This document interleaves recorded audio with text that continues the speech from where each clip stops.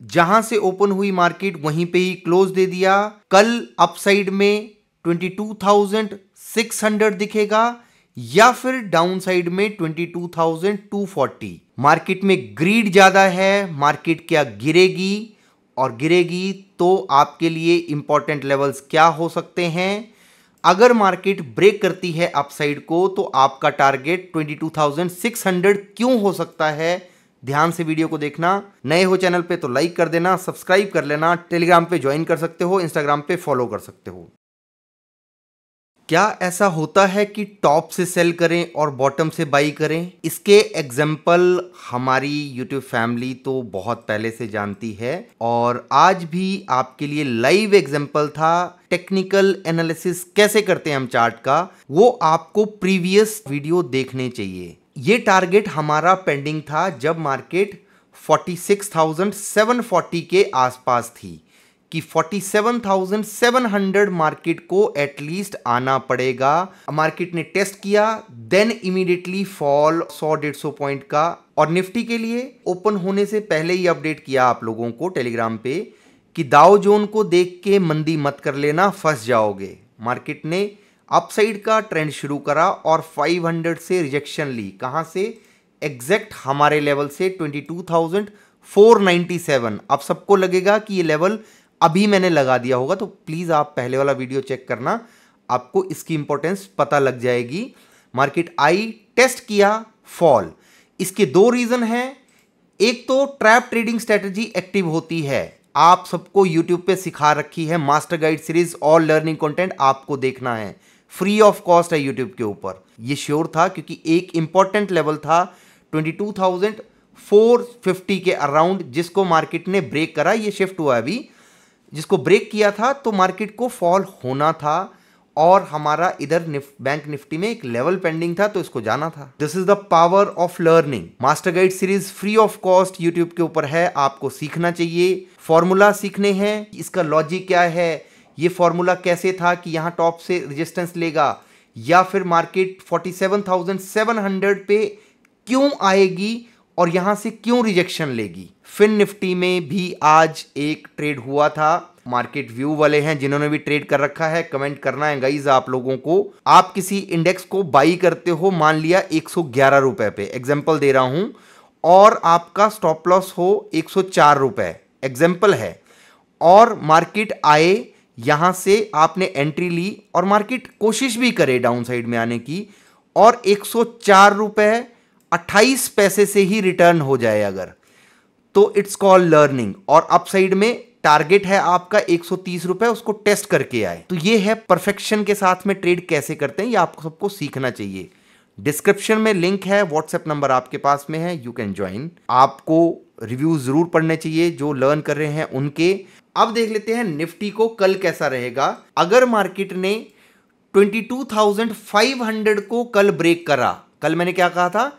531 अगर मार्केट ने 22,500 को ब्रेक करा और टाइम स्पेंड करा 518 के पास जाती है तो आपके लिए नेक्स्ट टारगेट हो सकता है मार्केट का 22,590 से लेके 600 तक मार्केट जा सकती है।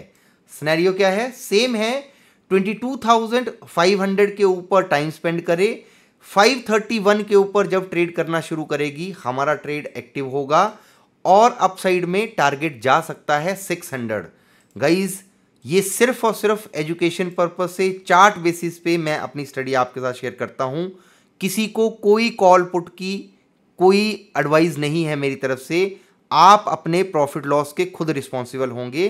काम आते हैं तो आप लाइक कर सकते हो कमेंट कर सकते हो और चैनल को सब्सक्राइब कर सकते हो। अपसाइड में 590 से लेके 22,600 ये लेवल आपको अपसाइड में मिल सकता है। अगर मार्केट 22,531 के ऊपर ट्रेड करना शुरू करती है तो एक हॉल्ट है 551 का और इसको ब्रेक करेगी।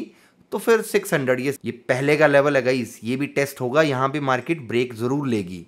बट हो सकता है ब्रेक करने के बाद में 600 दिखा दे।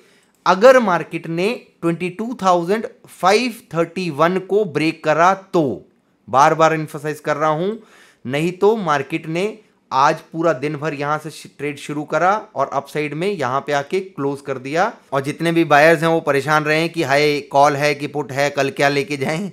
तो मार्केट ने न्यूट्रल होकर अपने आप को खाली करके यहाँ पे क्लोज दे दिया। ये तो हो गया एक डाटा पर मेरे को क्या लगता है मेरा ये व्यू है कि मार्केट में अभी ग्रीड ज़्यादा है। अपसाइड में मार्केट ने क्लोज तो दे दिया है यहाँ पे आके। लोगों को ट्रैप करने के लिए कि अपसाइड को मूव देगी।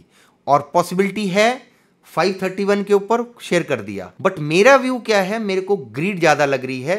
तो डाउन साइड में हो सकता है कि मार्केट 22,330 तक आए यहाँ से प्लान करे अप अप मूव का।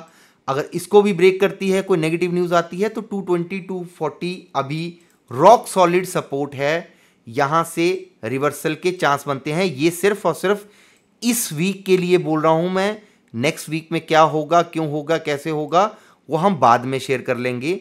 ये सिर्फ़ और सिर्फ़ इंट्राडे बिफोर थर्सडे अगर 220 आता है, यहाँ से अप साइड के लिए रिवर्सल बन सकता है। इंपॉर्टेंट लेवल है जहाँ से रिवर्सल हो सकता है 22,320 टू टू थ्री थर्टी यहाँ पर आता है एक छोटा मोटा पुल बैक आपको मिल जाएगा।